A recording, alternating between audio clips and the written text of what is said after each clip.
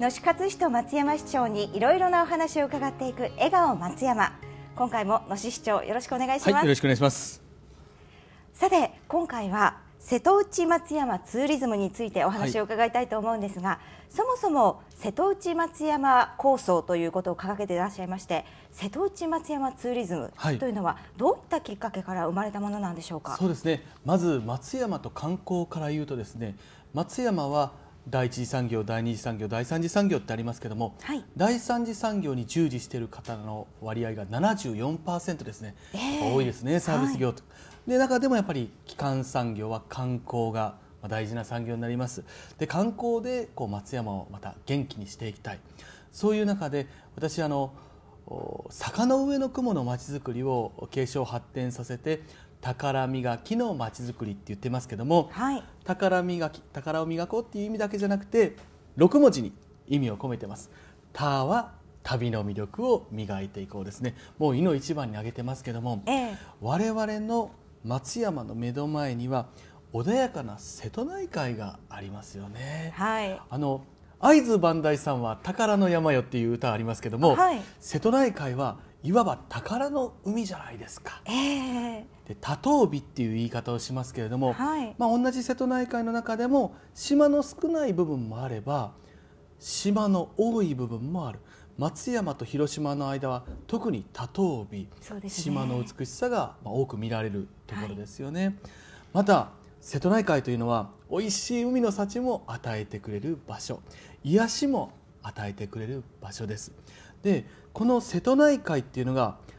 まあ日本の観光って言った方がいいですね。日本の観光の中ではほとんど活用されてなかったんですよ、えー、これは皆さんに自信を持ってほしいのは日本の人じゃなくて世界の人がこの瀬戸内海を褒めてくれてるんです、うんはい、まず江戸時代からいきますとシーボルトさんですね、はい、シーボルトさんがこのように述べていますけどもあのオランダお稲さんのお父さんですよね、えー、おばちゃんのね。シーボルトさんは船が向きを変えるたびに美しい島々の眺めが現れ島や岩の間に見え隠れする本州と四国の海岸の景色は驚くばかりと言ってくださってます。シーボルトさんがまず褒めてくれてます、はい、そして、えー、明治に入ってドイツの地理学者のリヒトホーヘンさん、うん、この方はシルクロードを命名した方ですから、まあ、いわば全世界を知っているような方ですけども、そのリヒトホーヘンさんはこんな広大で優美な景色は世界のどこにもないであろう。やがてこの景色は世界に紹介され称賛されるであろうっていう言葉を残してくれてます。もう一つあります、はい、あのイギリスの実業家でトーマス・クックグループって言いまして有名な旅行会社を作った方なんですけどトーマス・クック時刻表っていうのでね知ってる方もいらっしゃいます、はい、その近代ツーリズムの祖と言われるトーマス・クックさんはこんなふうに言っているんですけども旅の途中で日本に来て瀬戸内海に来て私はイングランドスコットランドスイスイタリアの湖という湖のほとんど全てを訪れているが瀬戸内海はそれらのどれよりも素晴らしくそれらの全部の最も良いところだけを取って集めて一つにしたほど美しいと絶賛をしてくれているんですよね。でもそんな瀬戸内海が海外の人からものすごく褒められているのに、世界を知っている方から褒められているのにじゃあエーゲ海とまるの旅とか地中海のまるの旅ってありますよね。よく聞きますね。でも瀬戸内海とまるの旅ってほとんどなかった。そう言われてみればそうですね。旅行代理店の店頭のそのパンフレットを置くところにもない、はい、これなぜかというと、まあ、行政の縦割りっていうんですかね中国ブロックは中国ブロック。四国ブロックは四国ブロックで動いてきたから真ん中にある瀬戸内海っていうのは残念ながら隔てる海になってきた。手つかずだったんですある意味。それをこれからは隔てる海じゃなくてつなぐ海なんだこの瀬戸内海の魅力を磨いていきませんか？っていうのが瀬戸内松山構想ですね。なるほど、まあ、本当にそんなに世界の人々それも歴史的人物からも絶賛されていた海ですからもうそこに目を向けない手はないですよね。もったいないですよね。はい、これ言う、まあ、言い方とすると伸びしろがものすごくあるっていうことが言えると思います。はい、ということでその具体的な政策に関してなんですけれども、はい、どういったことを考えていらっしゃいますか？あのこれはルートとですね、はい、ちょっと地図を思い浮かべていただくと、えー、観光のすご、まあ、大きな拠点として宮島がありますよね、はい、廿日市産の宮島。そして広島。多くの方が訪れてます。そして呉も、まあ、軍港の面影を残す、はい、そして大和ミュージアムっていう施設もありますよね。このルートで特に盛り上げていきたいな。で観光でルートというと立山黒部アルペンルートっていうのがありますけども、はい、そのような感じでこの宮島広島呉松山というのを瀬戸内街道1号線と名付けました。瀬戸内街道1号線。はい、はい、でここでですねいろんな旅行商品を生み出していっている松山市役所自身が動いて、まあ、生み出していっているわけですけども例えばですね航路の方でいきますと、はい、えー、宮島から広島は高速船になります。そして広島呉松山スーパージェットになりますけどもこれをパッケージにした瀬戸内ハイクルーズっていう商品を作りました、はい、まあ、具体的に言うとこれまで、まあ、例えば呉に途中下船してしまうとその先は向こうってなってたのをそれからも下船呉での途中下船有効にしたり、料金も安いものが出るとお客さんは助かりますよね。そうですね。行きやすくなりますね。はい。途中下船有効ですとか、料金も安くする。船舶会社に働きかけて瀬戸内ハイクルーズというのを生み出した。うん、はい。またですね、これ陸の移動を考えると、ええ、新幹線ですとか特急ですとか航路そして人気の観光施設の入場券そして路面電車の乗車券などをもう込み込みにした、はい、セットにした瀬戸内松山ぐるりんパスという商品をですねこちらは鉄道事業者さんのご協力を得て作りました、はい、でどうなったかといいますと昨年の4月5月6か月え4月5月6月の3か月間で JR さんに瀬戸内松山キャンペーンというのをやってくださったんですがえー、期間中広島松山の高速船やフェリーの利用者数は約1万2000人増、うん、そして道後温泉の宿泊者数は期間中2万6000人の増と増えました。いい流れになってます。すごいですね。それだけ働きかけると皆さんそれに呼応するように人の動きができるわけですからね。そうですね。あのこれいろんなこれ旅行商品ができてますけども、はい、これやっぱり松山市役所が実際あの観光の、ね、担当職員がいろいろと動いているからできていることなんですけども、はい、やっぱり我々が動くことによって、えー、民間の会社の方に船舶会社さんに鉄道事業者さんにちょっと安い料金を出していただくとか利便性を高めるそうやって熱心に動くと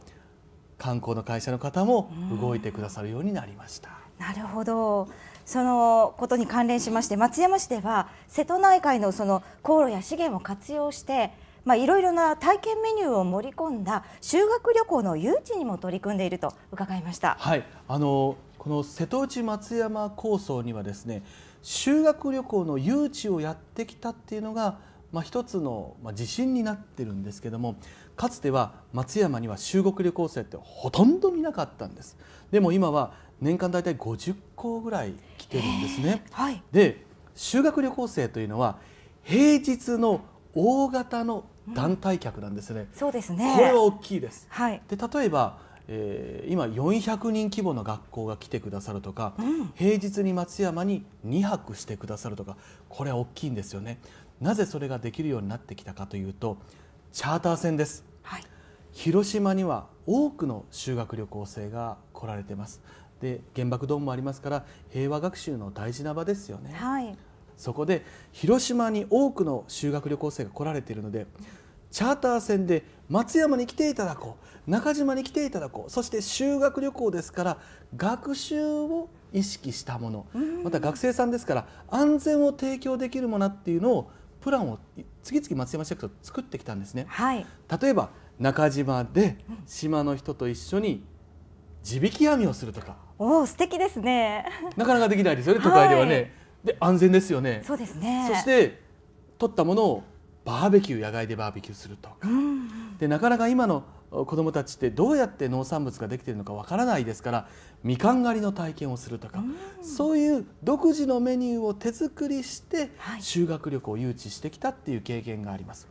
でチャーター船をうまく活用することによって人は動いてくださるんだっていうのが大きな、まあ、発想になってますね。なるほど、まあ、そういった取り組みにはですね地元の人々地域住民の方々の協力もなくてはならない存在だと思います、はい、そういったところを踏まえて、まあ、この修学旅行の誘致に成功したというふうに考えていいですよね。そうですね。はい、はい。ということで、まあ、瀬戸内松山ツーリズムでも松山市だけではなくやはりお向かいの広島との連携ということも大切になってくるかと思います。はい。これがですね大きな組織ができてこれがまた大きかったんですけども、えー、自治体でいうと松山市広島市宮島のある廿日市市そして呉市さんと今一緒になって動けています、はい、そして船舶会社さんは広島に本社のある船舶会社さんと松山に本社のある船舶会社さんが一緒に動いています。そして鉄道事業者さんも2社一緒に動いて、はい、瀬戸内松山ツーリズム推進会議っていうのができたんですよ。そしてこの事業が国からも認定されましたのでいわば国策として今動いているわけですね、それは国としても瀬戸内エリアの観光を盛り上げることができたら今国では観光庁ができてますけども、えー、海外からお客様を日本に引っ張ってこいよっていうインバウンド政策っていうんですけどこれにもぴったり合うんですよ、はい、今国の政策として認定もされています。でとにかくですね2014年が大きいんです瀬戸内海が日本で初めて国立公園に指定されて80周年、はい、そして道後温泉本館が建築をされて120周年。四国はお遍路さんの町お遍路さんの地区ですよね、えー、えー、この四国88カ所が開かれて1200年。2014年に3つが重なりますのでこの年に向けて盛り上げていきたいなというふうに考えていますトリプルイヤーで記念すべき2014年ですよね。ここでやらないといつやるっていうような感じですよね。そうですね、まあ、2013年始まったばかりなんですけれども、えー、来年の2014年記念すべき節目の年に備えてですねどういった対策をどういった目標を持ってらっしゃいますか、ね、あの今申し上げましたけども、まあ、そんな3つが重なる年ですけどもあの決して、えー、観光というのは甘いものではありません。例えば東京駅がリニューアルされました、はい。はい、そして東京スカイツリーも人気ですよね、えー、まあ、関東圏に話題が、まあ、集まっています。そして2014年には北陸新幹線が開業いたします。ですからまだまだ甘いような状況ではありません。ですのでまあ観光会社さんとどういう連携が組めるかっていうところなんですけどもおかげさまで今まで動いてきたことが功を奏しまして2013年には、はい、まあ業界のまあ、日本旅行さんと近畿日本ツーリストさん、はい、大きいですよね、えー、共同企画共同企画キャンペーンの地として、はい、4月から9月までの半年間この松山瀬戸内松山が選ばれました。もう日本国内でもここにターゲット絞ろうというところが松山に。そうなんですよ。旅行会社さんが目標を設定して、お客様を送り込んでくれますから、この連携がねできるようになったのはありがたい。そして2014年には JTB さんが4月から9月の集中送客キャンペーンの地としてこの瀬戸内松山を選んでくださってこれは大きかったですね。ですのでやっぱり皆さんにお願いをしたいのはこれまでいろいろ動けてきましたので松山に来たものの瀬戸内に来たものの良くなかったって言われるのは大変辛いことでありますので、はい、おもてなしの心です。やっぱり四国88カ所の中でも一番集まっているのが松山八か寺も集まっているのが松山ですからもともとおもてなしの心は伝統的にあるところです、はい、皆さんとおもてなしの心を磨いていきたいなというふうに思ってます。そうですね。やはり土地とか歴史とかもそうですけれども人々が温かいっていうのがやっぱり松山の魅力ですからね。はい、はい。まあ、最初にもおっしゃいましたけれどもエーゲ海地中海と並んで瀬戸内海というもうそういった日々が来ることを待ち望んでおりますので。もう皆さんにはね十分に自信を持ってほしいと思います、はい、一緒に磨いていきましょう、はい、はい、そういった夢旅の実現に向けて今後も頑張ってください。はいどうぞよろしくお願いいたします。今回もどうもありがとうございました。ありがとうございました